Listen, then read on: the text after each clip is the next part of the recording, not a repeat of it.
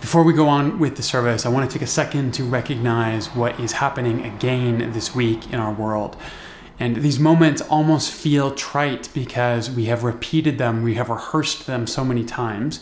But again, this week, a black man is shot in the back in a confrontation with police. A white man, a 17 year old boy, drives across state lines with an assault weapon, shoots protesters, kills two people, and is peacefully arrested and taken into custody the imbalance of what is happening around us all of the time is too stark, it is too clear for any of us to ignore.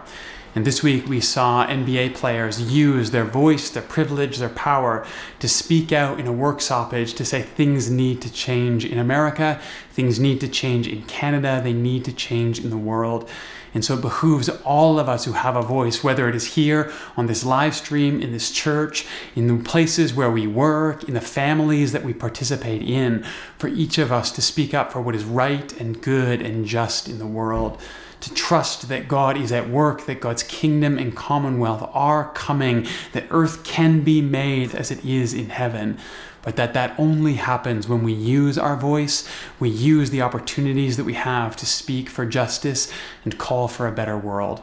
And so we lend our voice to all of those around our country, around America, around the world, calling for justice for Jacob Blake, justice for Breonna Taylor, justice for Ahmaud Arbery, justice for George Floyd, justice for all those who have not been afforded the privilege of living in peace in this world. For all those who long for peace, we pray.